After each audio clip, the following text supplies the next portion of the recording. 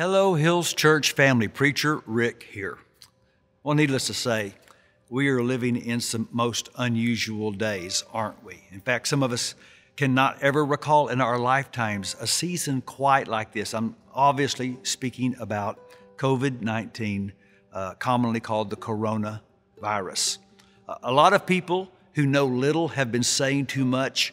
As a leadership, we have tried to listen to the medical experts who are saying that in order to flatten the curve of the spread of this virus, we need to avoid large gatherings of people.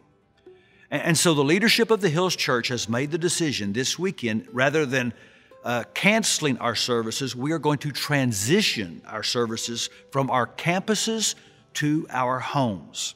This Sunday, we will be providing a worship experience for you and your family, perhaps a friend or a neighbor, in your home. Uh, at 8.30, we will have an a cappella worship moment. At 10 and 11.30, we'll have an instrumental worship moment. Live worship, we'll have a communion moment. We would encourage you to be prepared by having some bread and some juice available. And live preaching. Uh, also, let me say that our campuses are going to be closed to gatherings, at least for the next week and no women's classes, no student gatherings, no community groups meeting at our campuses.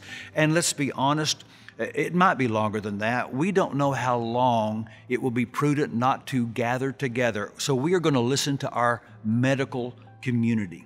Now, some might say this is a fear reaction, but we would say no, this is a response of love. The question right now is what is the most loving thing to do? And in order to bless our neighbor, in order to bless the medical profession and not overwhelm them, we want to join with the effort of others to diminish the spread of this virus by not meeting together in large numbers.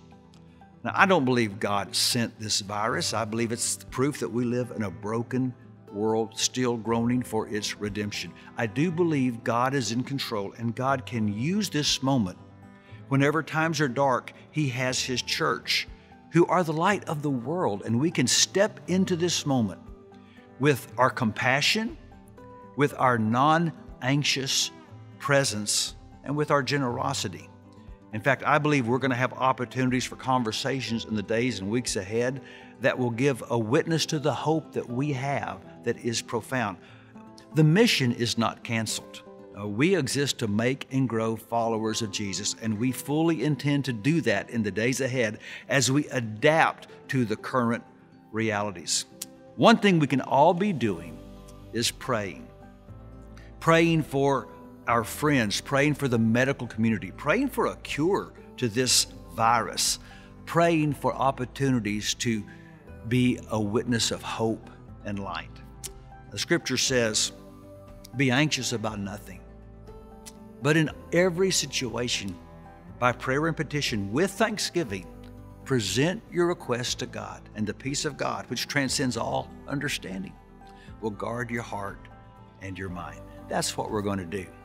And so, I won't see you this Sunday, but you will see me, and it's going to be an awesome opportunity to be reminded our God is in control.